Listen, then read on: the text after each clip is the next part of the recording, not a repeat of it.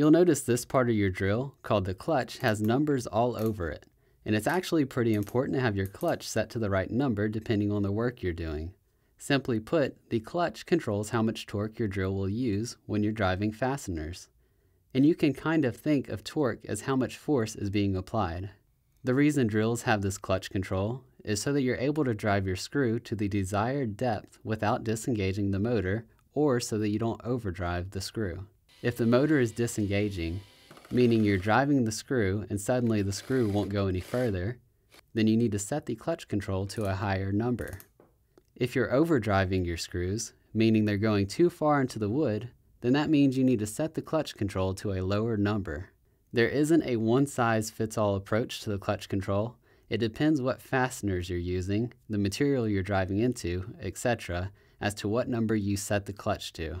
You honestly have to experiment with it to find the right setting for your project.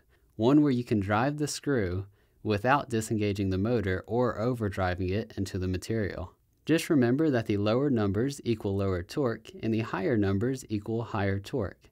And do not set the clutch control to the drill icon when you're driving screws or other fasteners.